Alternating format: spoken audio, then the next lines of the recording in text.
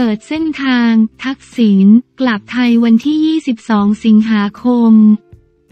ต้องไปที่ไหนบ้างหลังเข้าประเทศ เปิดเส้นทาง ทักษิณกลับไทยวันที่ 22 สิงหาคมนี้ต้องไปที่ไหนบ้างหลังเข้าประเทศ เผยแวะสิงคโปร์ก่อนบินเข้าไทย ผู้ช่วยผู้บัญชาการตำรวจ เรียกประชุมลับเตรียมแผนรับเมื่อวันที่ 19 สิงหาคม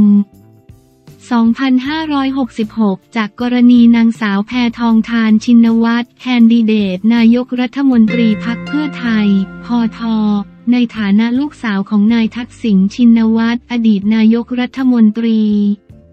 โพสต์ข้อความผ่านสตอรี่อินสตาแกรมส่วนตัวถึงความคืบหน้าในการเดินทางกลับประเทศของนายทักษิณโดยระบุว่า อังคารที่วันที่ 22 สิงหาคม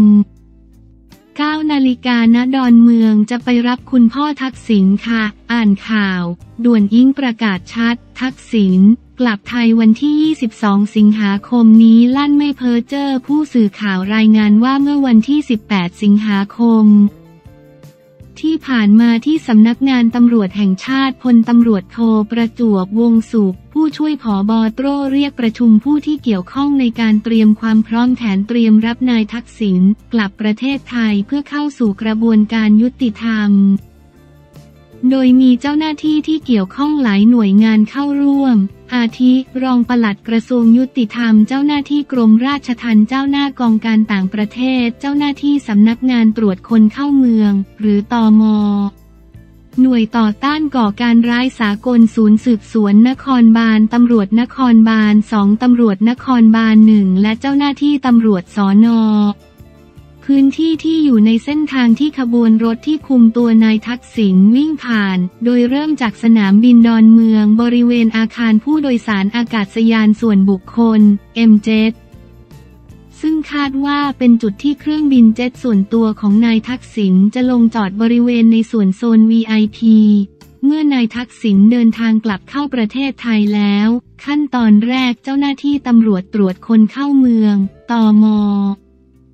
จะเป็นผู้รับตัวและทำบันทึกการจับกลุ่มต่างๆ ตามขั้นตอน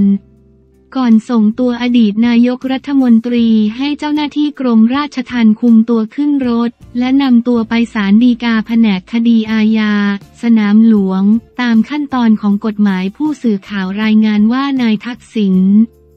จะเดินทางออกจากดูไบสหรัฐอาหรับเอมิเรตส์ในวันที่ 20 สิงหาคม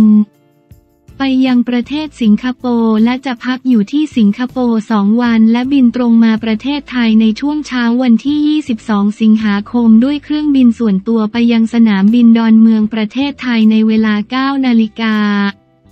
ทั้งนี้มีการแจ้งสื่อมวลชนถึงกำหนดการนายทักษิณเดินทางถึงสนามบินดอนเมืองเวลา 9 นาฬิกาเพื่อให้สื่อมวลชนลงทะเบียนเตรียมรอทำข่าวที่อาคาร 4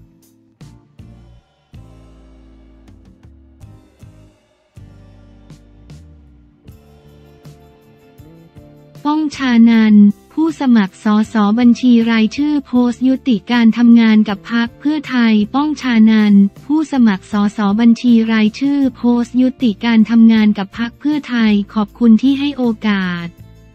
ผลักดันนโยบายที่ตนเองได้นำเสนอไปตลอดเกือบสองปีวันที่ 18 สิงหาคม 2566 ป้อง ชานันยอดหงผู้สมัครสอสอบัญชีรายชื่อพักเพื่อไทย ผู้รับผิดชอบนโยบายด้านอัตลักษณ์ และความหลากหลายทางเพศโพสต์ข้อความพร้อมหนังสือผ่านเฟซบุ๊กส่วนตัว ลาออกจากสมาชิกพักเพื่อไทย โดยระบุข้อความดังนี้ป้องอยากจะขอแจ้งกับทุกท่านว่า ป้องได้ยุติการทำงานกับพักเพื่อไทยแล้วตั้งแต่วันนี้ ป้องขอบคุณพักเพื่อไทยที่ให้โอกาส และผลักดันนโยบายที่ป้องได้นำเสนอไปตลอดเกือบสองปีที่ผ่านมา ป้องหวังว่าหนทางที่พักเพื่อไทยเลือกสู้จะยังคงเป็นหนทางที่ทำให้พักทำนโยบายที่ได้ประกาศกับสาธารณชนไว้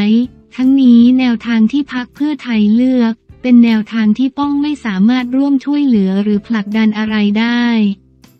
ป้องจึงได้ขอลาออกจากการเป็นสมาชิกพักเพื่อไทย และขอยุติกิจกรรมทางการเมืองกับพักเพื่อไทยไว้นับตั้งแต่บัดนี้ ป้องขอโทษบางท่านที่การตัดสินใจในครั้งนี้ อาจทำให้นโยบายหลายอย่างที่ป้องพยายามผลักดัน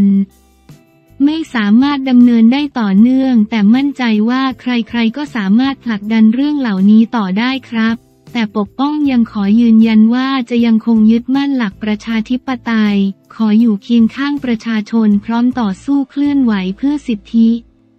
เสรีภาพความเสมอภาคและสวัสดิการต่อไปครับ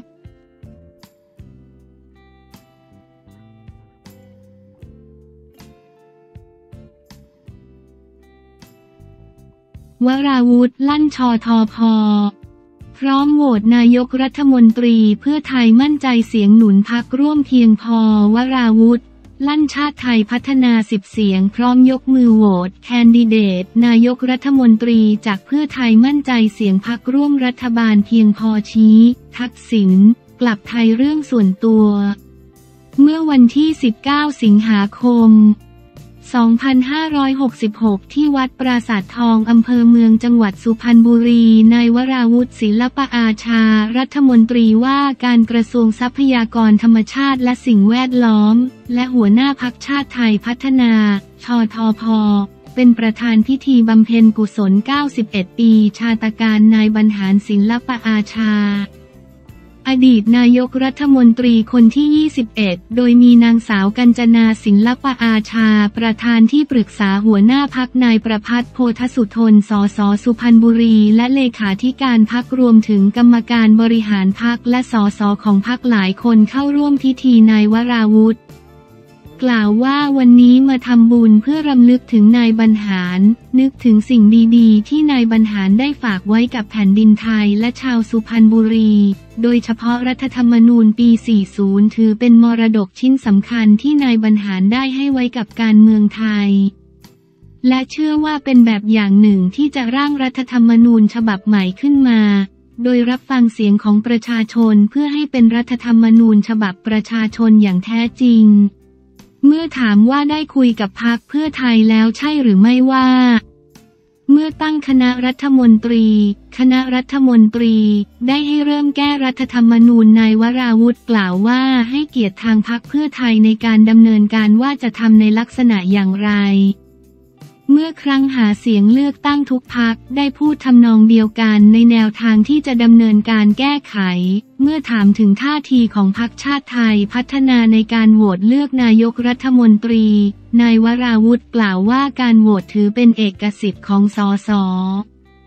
ไม่สามารถเป็นมติพักได้ทั้งนี้จากการพูดคุยกับพักเพื่อไทยในช่วงหลายสัปดาห์ที่ผ่านมา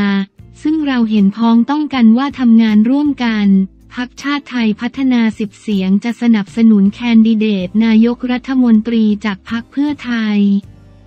ซึ่งขณะนี้ก็มีความมั่นใจว่าเสียงสนับสนุนจากพักร่วมรัฐบาลหลายพักนั้นเพียงพอ ตามที่พักเพื่อไทยได้ให้ข่าวไว้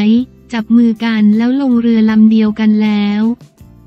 ต้องไปในทางที่เกิดประโยชน์สูงสุดต่อประเทศชาติและประชาชน นายวราวุธกล่าว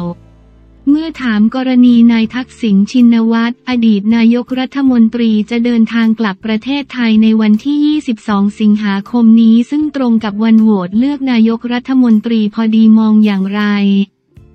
นายวราวุธกล่าวว่าถือเป็นเรื่องส่วนตัวของนายทักษิณ อย่างไรก็ตามในวันที่ 22 สิงหาคมนั้น สส ก็มีภารกิจที่สำคัญเมื่อถามว่าจนถึงขณะนี้หลายฝ่ายยังติดใจในคุณสมบัติของนายเศรษฐา ทวีสินแคนดิเดต นายกรัฐมนตรีของพรรคเพื่อไทยในส่วนของพรรคชาติไทยพัฒนาเห็นอย่างไร นายวราวุธกล่าวว่าแน่นอนว่าคนเราทุกคนมีด้านบวกและด้านด้อย แต่คิดว่าพักเพื่อไทยเป็นพักการเมืองที่ใหญ่ มีบุคลากรที่มีศักยภาพมากมาย กว่าจะได้แคนดิเดตมานั้น เชื่อว่าพักเพื่อไทยคัดสรรคัดเลือกมาแล้วดังนั้นพักร่วมก็ให้เกียรติพักใหญ่ในการที่เสนอชื่อ และเราก็จะสนับสนุน